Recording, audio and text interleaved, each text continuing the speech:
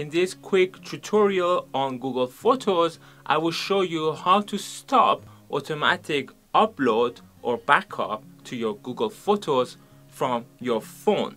As you're aware, from 1st of June onwards, anything uploaded to your Google Photos would count towards the 15 GB free storage that Google gives. And also, if you have uploaded anything in original size, like photos and videos, that would also count towards your 15 GB storage, irrespective of whether it was before 1st of June or after 1st of June. So let's get started. Step number one, go to your Google Photos app by just touching it, opening it, and then touch on your icon. Now you have to scroll down and then select Photos Settings by touching it.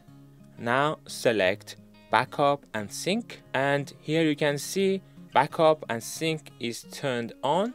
So all you need to do is to touch this to turn it off. And now no more of your photos and videos from your phone would be automatically uploaded and backed up onto Google Photos.